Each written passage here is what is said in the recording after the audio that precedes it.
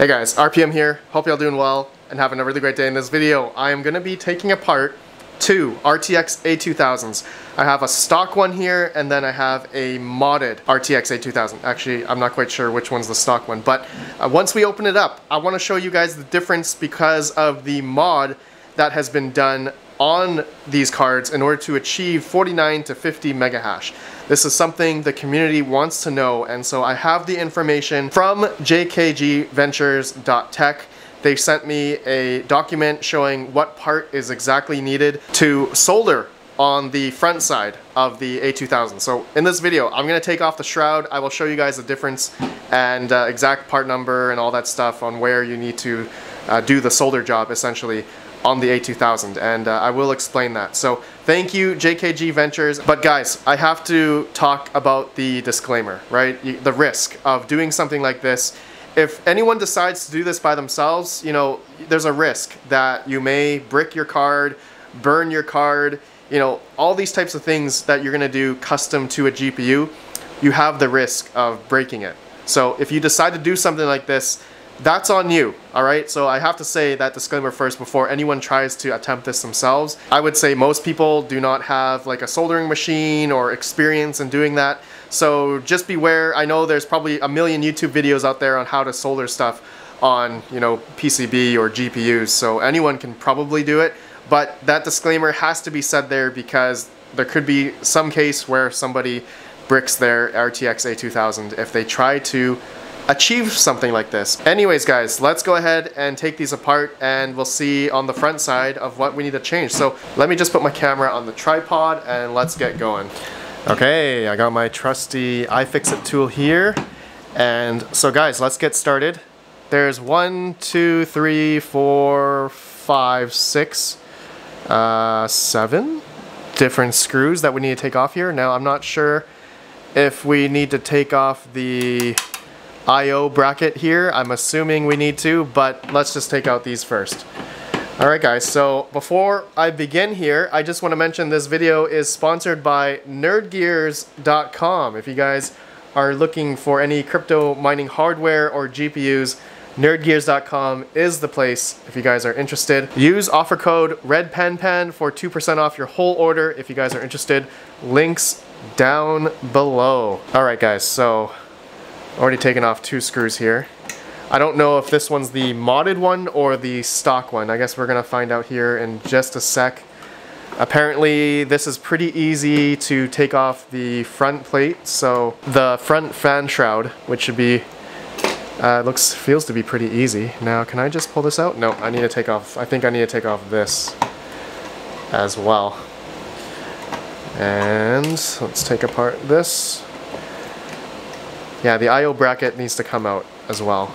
Now this, yeah, there's more screws here on the side, I believe. Okay, this one requires a little bit bigger hex tool. Yeah, there we go. All right, now I can take it out. So this comes out.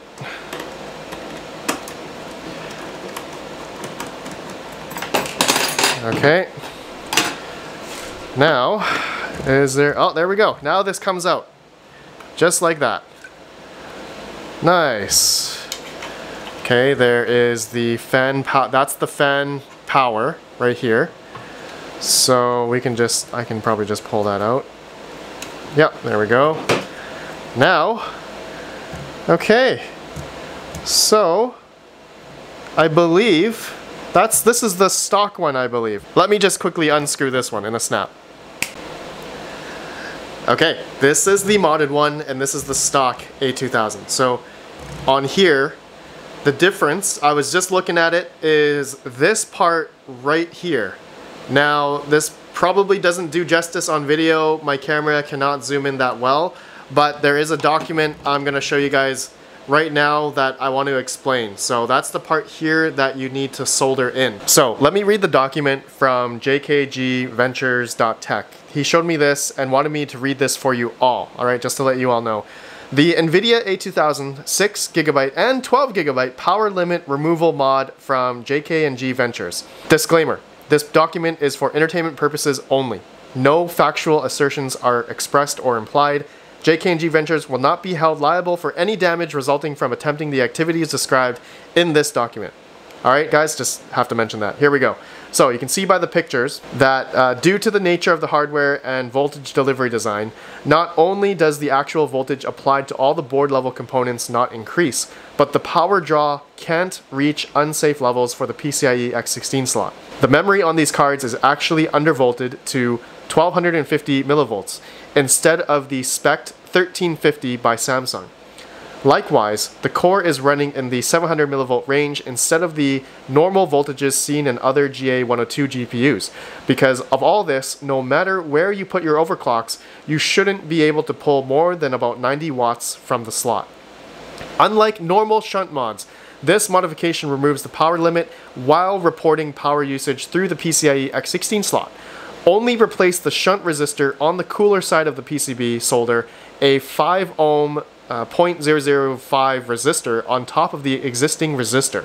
Boom, done. It is extremely important to get the solder joint here and that the resistor lays totally flat. Use a high quality flux and high quality solder. We recommend changing the thermal pads to a high quality high thermal transfer rate pad, replacing the factory paste on GPU core with a high quality thermal grease, which uh, you guys saw. I did do a video showing the difference between a thermal padded one and pasted one versus a stock A2000 and the memory temperatures was a huge difference. So, last part here I want to read from jkgventures.tech says, if you don't feel comfortable poking a soldering iron around the inside of your expensive GPU, find a local electronics repair shop or contact us at info at jkgventures.tech. You can also order the service directly from our website at www.jkgventures.tech, link down below, for a small fee. We can also replace the thermal pads and thermal paste for a small additional fee. All right, please do not try this if you are not 100% confident in your abilities. There is no shame in finding a professional to do this for you. It is easy to brick your card if you don't do this correctly and overheat any component on the board. Okay, guys, so I want to read all that. Thank you so much, JKG Ventures, for opening this up for everyone to essentially do this themselves. And so you guys can see that there is that R005, I guess, uh, little chip there that needs to go on top of the existing one. So looking at my stock A2000 versus the modded one here, it looks like that chip just sits literally right on top of it. Okay, it sits right on top of it. I don't know if you guys can see the double layer on this part right here. And then the single layer on the uh, stock one right there. So yeah, that's that's it. That's simply what needs to be done on to getting to enable 49 to 50 megahash on your A2000 guys. That I, I hope that's the info a lot of people were looking for. I mean, like I, I just want to mention like the type of comments I was getting on that video and like a lot of toxic comments. I even got a lot of emails from people and uh, JKG Ventures also expressed this as well. Like the amount of toxic comments we got regarding this mod and like people were saying why didn't you just open it up to the community? Why didn't you just show us what mod it is? And it's just like, you know, uh, of course, that was like the vocal minority of people, maybe a good 20, 30 people. I got like 30 emails around there.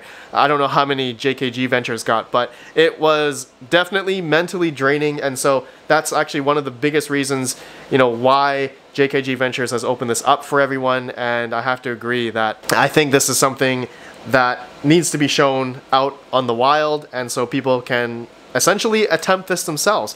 But I guarantee, as I was reading the comments in that my in my initial video that I did about this, is that there is a lot of people that appreciate that there is a service of this of this kind to do this type of job on these A2000s. And you know, it's done by someone who knows their stuff and has the machine, has the flux, has the soldering iron stuff to do this, right? Most people, I'm gonna say 99% of people do not have that kind of stuff at home and has never attempted anything like that. Like myself, I'm a guy who has never soldered anything in my life. So uh, for me to do something like that, I, I've never done. I'm sure there's many YouTube videos on, you know, how to do that sort of thing, but you know, that's something that in case some people don't want to attempt, then by all means, you guys can, uh, there's now a way someone can do this themselves and the information is now here guys. So pretty cool. JKG Ventures, thank you so much. It's pretty awesome to see the difference here. It's just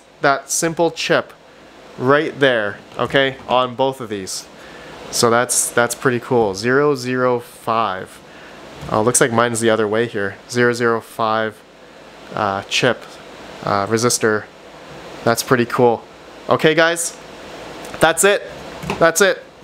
That's all I'm gonna do in this video. That's all I really wanted to do. Uh, what I am gonna have coming up is now I'm gonna be testing the A2000s on a riserless motherboard. Okay, so I have a riserless, uh, this is a, what is this?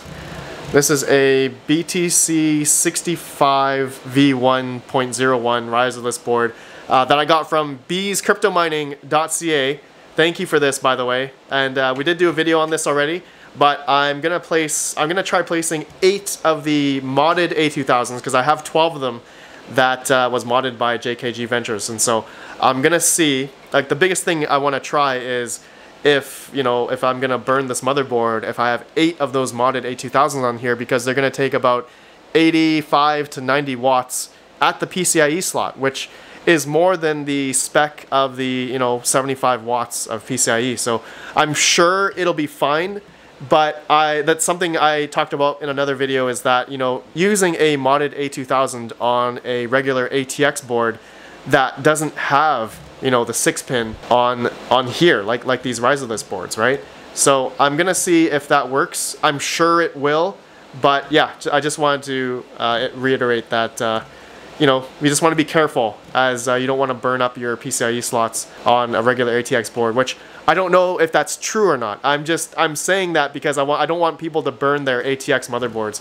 So uh, we will do that in another video. All right, guys, that's it. Let me know your thoughts. Let me know if anyone's going to attempt this themselves. Yeah, all that good stuff. Thank you guys for watching. I'll see you all in the next one. Have a good one. And peace out.